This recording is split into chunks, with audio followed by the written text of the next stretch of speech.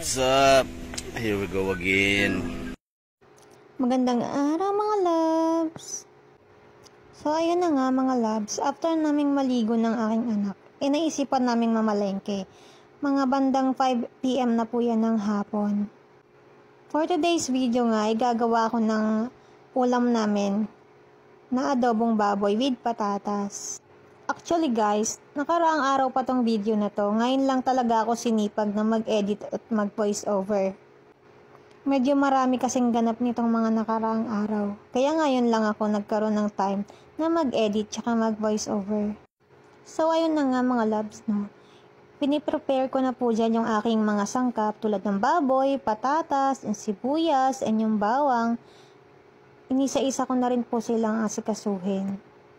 So, dapat po talaga maglalagay ako ng luya dyan. Kaso naisip ko, baboy naman yung lulutuin ko. So, hindi ko na po itinuloy yung paglalagay ko ng luya. And after ko nga din po matapos ng lahat ng paggagayat ng aking mga sangkap, nililinis ko din lahat ng aking ginagamit. Ako lang ba? And ano yun na nga mga loves, after ko nga pong ma-prepare lahat ng gagamitin kong sangkap, nagsimula na nga rin po akong magluto.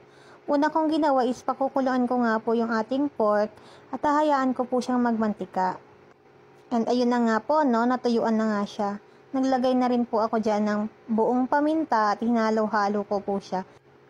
And ayun na nga, no, late ko na rin napansin na wala palang flash yung aking phone. Sorry na agad. Ooh!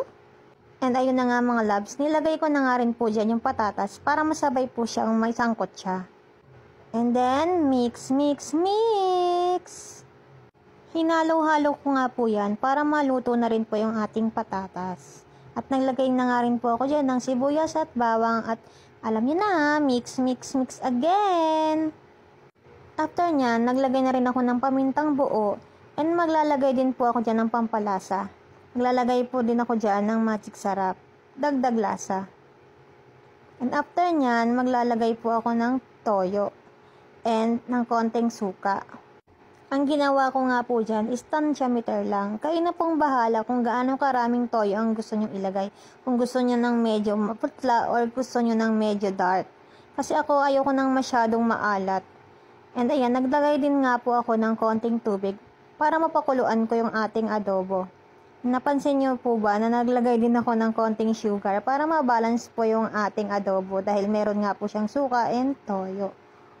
Gusto ko po kasi ng medyo manamis-namis at maalat-alat. And ayan na nga po, malapit na pong maluto ang ating adobo. Yummy! Thank you for watching mga loves! Bye!